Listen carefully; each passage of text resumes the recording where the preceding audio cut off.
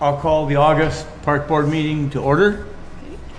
First thing in our packets was the minutes from the last meeting. Were there any changes, corrections, or omissions that anyone caught? If not, the chair will entertain a motion to Move to Approve. approve. A second. moved and seconded. Any further discussion? All those in favor say aye. Aye. Aye. Motion carried. The, and we've got no citizens for comments. The first item we have for new business is with the dog park owners.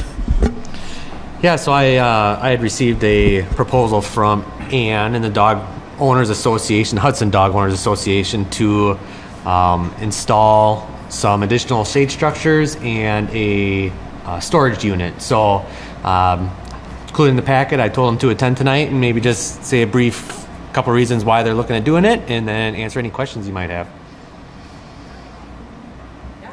We, we certainly can do that. Uh, the, the shade structures, um, certainly by our guests and those who have contacted us, it's a need and uh, a desire that patrons like to have more shade at the park. While the trees are awesome and will provide long-term shade, you know, going forward, uh, we, we feel that providing some additional shade, um, one at the small dog park, that small, uh, the small area, and two additional structures at the larger dog park um, are, are what we'd like to uh, provide. And, and using the funds that we've raised over the last couple of years at different events um, uh, to fund the materials and, and the actual structures. Um, the, uh, there are, I think in the packet, there's a drawing, there are two shade structures currently that uh, the Eagle Scouts had, had put into place and, and erected at the, at the large dog park area. Um, So those are existing, and uh, if that's not clear, I can definitely answer questions about that. But, um, and then the sh- the shed is something that we have talked about as an association for a, a while, um, just with some of our various materials that we've accumulated now over five years uh, for some of our fundraising events, um, but also just shovels and, and buckets and different things that we, we, we bring to some of the cleanup events. A lot of that is in our garage. so um, he'd like to see a shed uh, there. So we have a couple of uh, grant uh, proposals that are out to some of the larger retail uh, stores in the area looking for a donation for that shed. Uh, but if that doesn't come to light, then the association's prepared to use funds to have that shed on site. We haven't talked about the actual size, but, but we did our best to put a, a picture there of what we're thinking that would be ideal. Um, and then also on the map, uh, I think we, we, we have an S for the two uh, ideas that we thought would be ideal. So either one of those would be, we think, a, a great spot for the shed, but certainly would, would love your feedback too um, in terms of where you think that would be best fit. So, do you want to add anything else? Yeah. yeah. Anybody have any, any questions? It was pretty self-explanatory in the packet, and you guys know what you want, you know, and, and where best it should go, so it's not in your way, and it functions best for how you use it. So I'd be foolish to challenge where you were gonna put something. So for just a point of clarification, so for the shade structures, um, you had mentioned in your email, I didn't include this in the packet, but they would look for the city staff's help to maybe pour some of the footings that the structure is mounted on. Correct. Um, and then would the dog owners association help build them? Yes, that, Okay. that is our, uh, our plan and our desire to, um, to solicit people that are, you know, again, uh, users on our Facebook page, those that we have, you know, um, essentially on our list for volunteers. Yep. And, and, and do, yes, uh, Okay. invite volunteers to help. Of, we haven't done that yet, Yet, but, okay. but I know that we've had some people volunteer their services in the past for that, in that capacity. Okay. Um, But maybe it's a joint, maybe it's a joint project, right, where, um, Okay. I'm not sure how the timing would work with the building of the structure and, you know, pouring footings and how that, I guess it depends probably on Sure. what you feel is best too, so. Okay. It's a, a question we actually just talked about today, knowing that in the packet we talked about volunteers doing it, but because it's a city park, you may want to be involved in building the structure because of the size of the structure. So we don't know if it's even possible for us to really be the ones building it. In the past, we've raised funds and the city's contracted somebody to do the fence or contracted them to do some other things. So we're kind of open to both. Um, but Okay. if, if it is a multi-tiered process where the state's involved in footings, or it's the state, the city's involved in footings, um, it- we're just trying to figure out the best option. It, it might actually be in the best interest to have the city be involved in the building of it. But again, that's a question for you guys to figure out how that connects in and fits. Or do we contract with a contractor to build it, um, so that it's done properly? Yeah, it's just a matter of um, scheduling the staff, um, finding time to, to dedicate to building them because it's not just a one day thing, right? It's so I mean it's something that we can work through. Um, And maybe it's one at a time, right? I Right. mean, And we, we kind of thought the same thing with volunteers, may have to focus on one at a time. yeah. And then as far as just like the inside, I know the other ones have like wood chips on the inside. Is that something? Are you just natural grass, or what are your thoughts there? We, we, we would probably, we were not, we were not thinking about, um, you know, a large concrete pad, no. Okay. We were thinking, um, right on the ground, exactly. Yep. Initially, it'll be grass, but then yes, eventually, wood chips will, will need Or to be yeah, spread okay. there. Which is just kind of the use, right? And Yeah. the use of using the area, yep. Yeah, because I just, as far as just like maintaining it, um, we run into issues every once in a while with our staff are trying to mow out there, and there's people using it. I mean, I mean it's it's get used from 5:30 a.m. to Ten, 10 p.m. So it's hard for us to be out there and mow without interfering with people. And some people um, are okay with us mowing out there, and other people are like, "Why are you here? Come back a different time." Well, it's like, when do we come back? It's used all the time. So just Yeah. you know, navigating some of those challenges, and and so we're not having to mow like in and underneath these shelters, so on and so forth. So I think that's something that we can talk about too. Okay. absolutely. Um, I only have one other question, and that's the placement of the shed, because they aren't really attractive, so, you know, is, is there a particular place where we would recommend they place it so that it's not really an eyesore, or is this not an issue? I prefer the one near the batting cage as a preference. In that lower corner? kind of in the lower spot. The one in the kind of the southwest corner of the park would be right visible from the highway. From the so, highway, yeah, right, So that'd be my recommendation. And then it's as long as we keep it far enough far enough away from the fencing that we can get our mowers behind it, so on and so forth. And mm-hmm. we could do like a gravel pad and have like a two foot overhang, so we don't have a bunch of weeds growing up next to it. So That sounds like a Yeah. great spot for it, yeah, I agree. okay. Would it make sense to table this until we could look and maybe mark out with their approval, and then the city's input is there, and all, all needs are met? Um, I think we should just go ahead. We know what we're gonna ahead. do. All right, We know what they're gonna do. okay.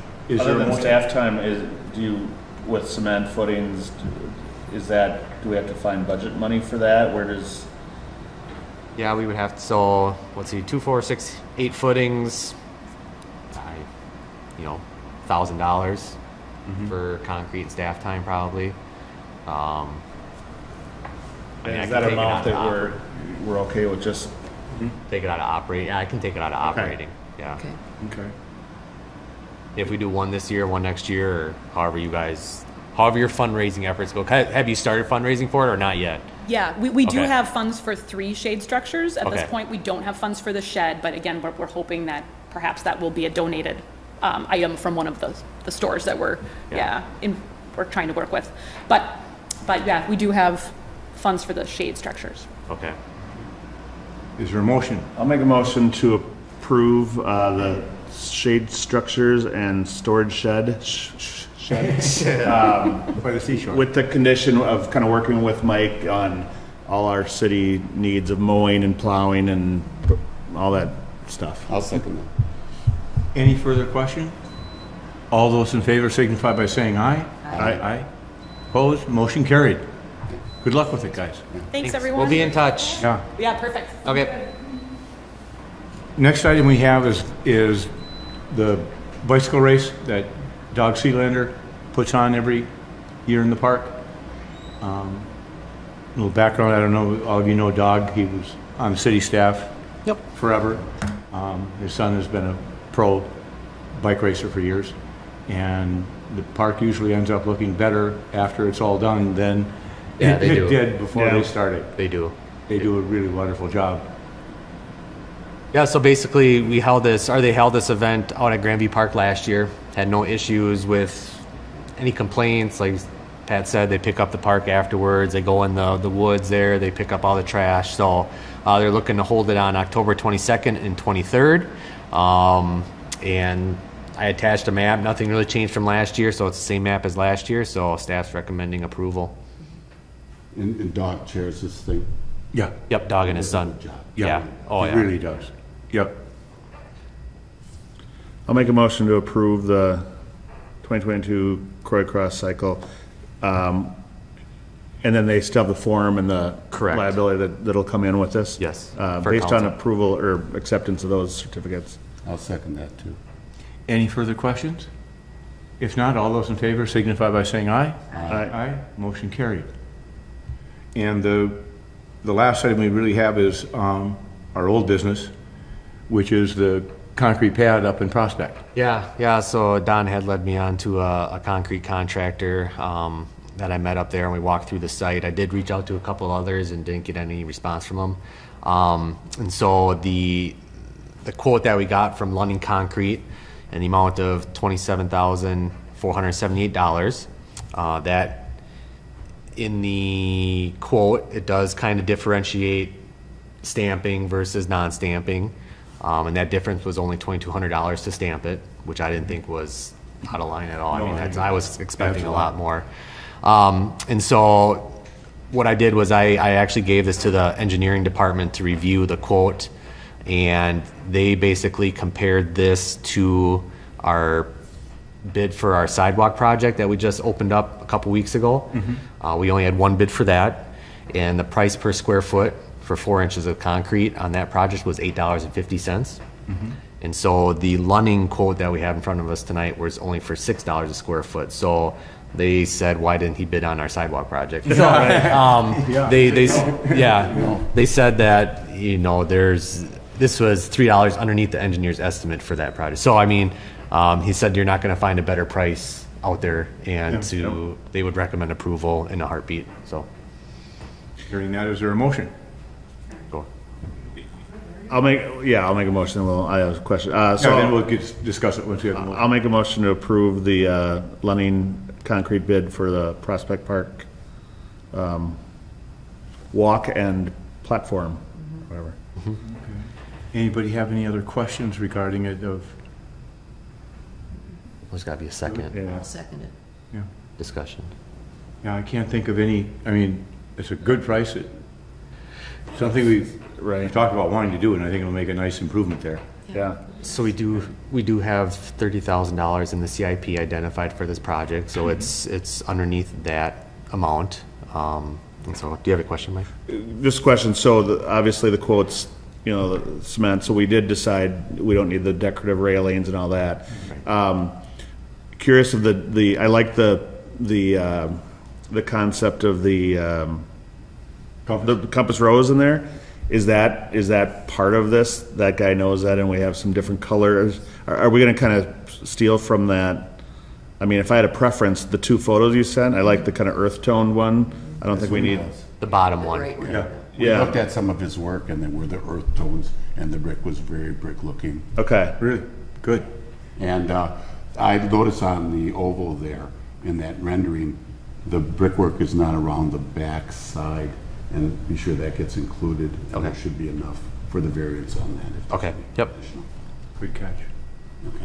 Yeah, good catch on that. And I did talk, when, when, uh, Matt was up there, when we were walking the site, I, I drew in the dirt, so he has a picture of, of what we're looking for up there, and that's what his quote was based on.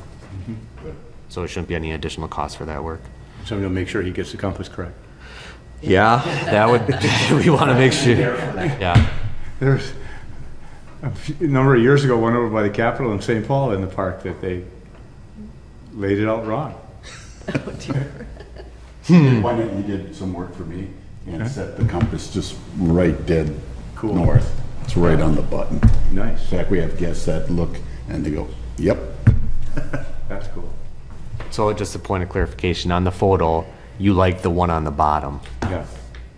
Yeah, yeah, the more toned down. The, the Okay. other one looks tropical or whatever. I, Okay. All right. Any further discussion? If not, all those in favor signify by saying aye. Aye. Motion carried. Project updates.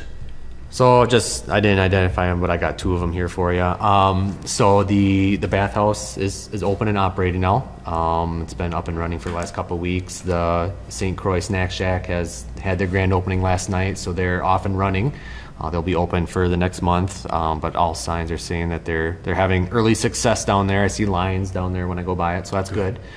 Um, uh, and the other thing too is I had a um, meeting with the boat launch contractor last week Friday. We have a weekly meeting. They are um, they staked yesterday. They're going to set string line um, tomorrow for the curb. They're going to pour curb and gutter and then the median islands over the next week and a half. And they have tentatively scheduled asphalt for August 15th and 16th. Wow. So and then after that, it's basically striping, Signing and, some rest- restoration, signing, so on and so forth. So it kind of gives you an idea of, of what we're looking at for a timeline for the so it looks like before Labor Day. Yep. The docking probably won't be ready um, soon, but we have our old system that we can put in there as a temporary.